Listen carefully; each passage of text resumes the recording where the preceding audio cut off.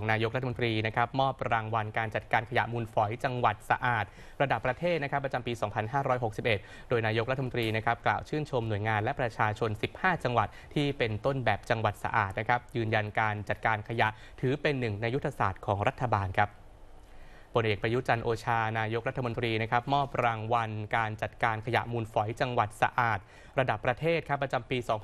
2561 เพื่อขับเคลื่อนตามกลไกความร่วมมือจากทุกภาคส่วนนะครับในลักษณะประชารัฐ และติดตามประเมินผลงานนะครับเป็นแรงจูงใจ ยกย่องเชิดชูนะครับให้แก่หน่วยงานและก็ประชาชน ในพื้นที่ที่ร่วมมือร่วมใจกันนะครับในการบริหารจัดการขยะมูลฝอย ภายใต้หลักการนะครับก็คือ 3ชอนะครับคือใช้น้อยใช้ใช้ซ้ำนะครับนำกลับมาใช้ได้อีก โดยแบ่งเป็นการดำเนินการออกเป็น 3 ระยะนะครับได้แก่การต้นทางนะครับคือการคัดแยกขยะมูลฝอย กลางทาง การเพิ่มประสิทธิภาพ การเก็บขยะ แล้วก็ขนขยะมูลฝอยขององค์กรปกครองส่วนท้องถิ่น และปลายทางนะครับขยะมูลฝอยก็ได้รับการกำจัดอย่างถูกวิธีครับ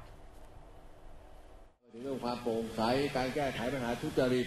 บ้านเมืองสวยงาม ผมอยากให้ทุกจังหวัดเนี่ย ได้พิจารณาที่ว่าพื้นที่ใดก็ตามที่มีการทิ้งขยะ แล้วมัน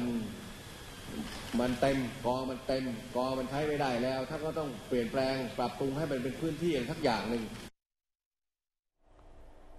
สำหรับการมอบรางวัลในวันนี้นะครับแบ่งออกเป็น 2 ระดับได้แก่ระดับจังหวัด ระดับประเทศ ระดับจังหวัดนะครับก็ได้มอบหมายให้ผู้ว่าราชการจังหวัดเป็นผู้คัดเลือกแล้วก็มอบรางวัลครับส่วนรางวัลระดับประเทศนายกรัฐมนตรีจะเป็นผู้มอบ ซึ่งมี 15 จังหวัดทั่วประเทศนะครับได้รับมอบรางวัลในวันนี้ ทั้งกลุ่มจังหวัดขนาดใหญ่ กลุ่มจังหวัดขนาดกลาง และกลุ่มจังหวัดขนาดเล็ก ซึ่งภายหลังให้โอวาทนะครับนายกรัฐมนตรีก็ได้ชื่นก็ได้เดินชมนิทรรศการการจัดการขยะมูลฝอยจังหวัดสะอาด ที่ห้องโถงกลางตึกสันติไมตรีด้วยนะครับ